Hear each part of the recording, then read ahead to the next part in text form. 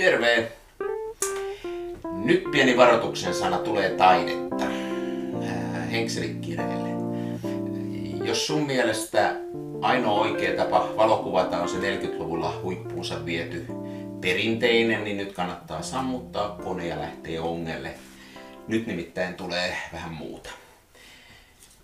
Vuorelan Vesa, kiitos siitä kovasti, antoi mulle toissapäivänä tämmöisen vanhentuneen Vericolor Professional Kodakin värifilmin. Tämä on mennyt vanhaksi joskus 90-luvun lopulla.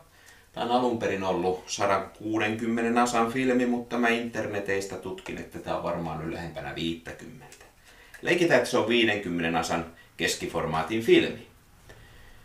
No sitten toinen, toinen tota tämmönen uustuttavuus mulle on tämmönen Graflexin TLR-kamera. Mä en edes tiennyt, että Graflex tekee tämmöisiä kaksilmäisiä TLR-kameroita. Ja tämä on Graflex 22, sangen primitiivinen ja, ja en millään tavalla voi suositella tätä verrattuna japanilaisiin tai saksalaisiin saman aikakauden edustajiin. Tässä ei ole minkäännäköistä automatiikkaa filmin siirrossa.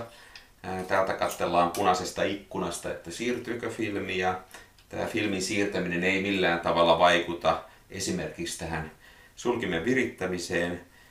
Ja tässä itse sulkimessa, äh, sulkiassa ajat on äh, nopein aikaan yhden suhde 200 ja hitaan, hitaan on yhden suhde 10. Eli tästä puuttuu kaikki nopeita ja kaikki hitaat ajat.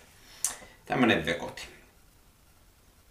Mutta tota, nyt yhdistettynä hitaaseen filmiin tässä on yksi aivan mielettömän hieno ominaisuus. Kun nimittäin yleensä kun filmiä siirtää kamerassa eteenpäin, niin sehän virittää tämän sulkien ja sitten voi ottaa kuvan. Monessa alkeellisemmassa, vähän vanhemmassa kamerassa homma tehdään niin, että ensin viritetään sulkia ja sitten laukaistaan. Viritetään, laukaistaan, viritetään, laukaistaan.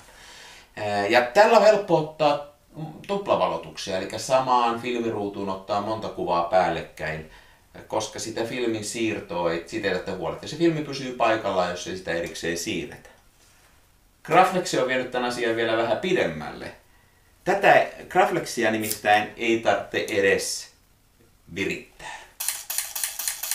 Tällä voi vaan ampua tällä. Nythän ei filmi tietysti siirry eteenpäin ja se menee kaikki siihen samalle ruudulle, mutta sangen nopeita tulitusta voi antaa. No, mullahan luovuus iski. Va, äh, hidasta vanhaa filmiä. Laitetaan tähän tota, äh, lankalaukasin.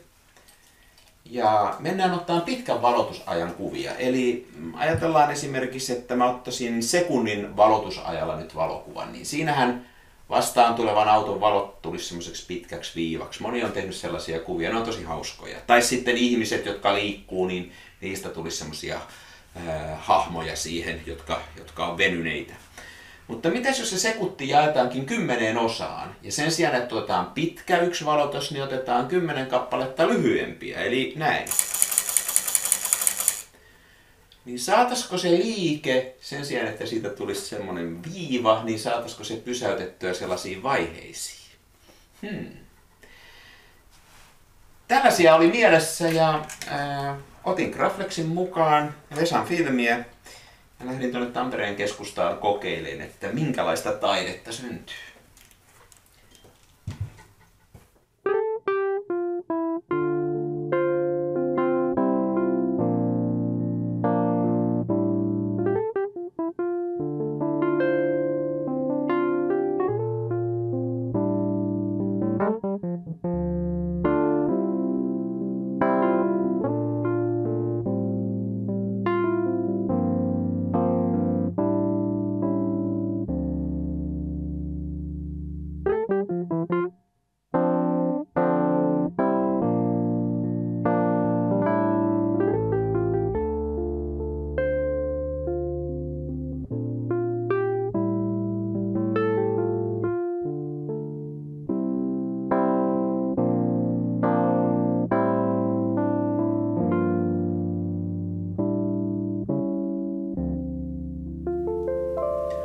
No niin, tällaista.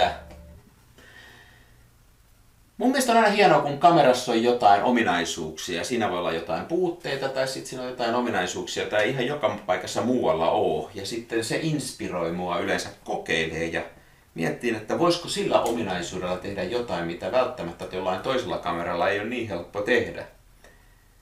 Tässä muuten alkeellisessa ja sangen vaatimattomassa TLR-kamerassa Graflex 22 se on eittämättä tämä laukaisu, joka ei vaadi minkäännäköistä sulkimen virittämistä eikä filmin siirtoa. Ja Tuollaisia kuvia saatiin sillä aikaiseksi.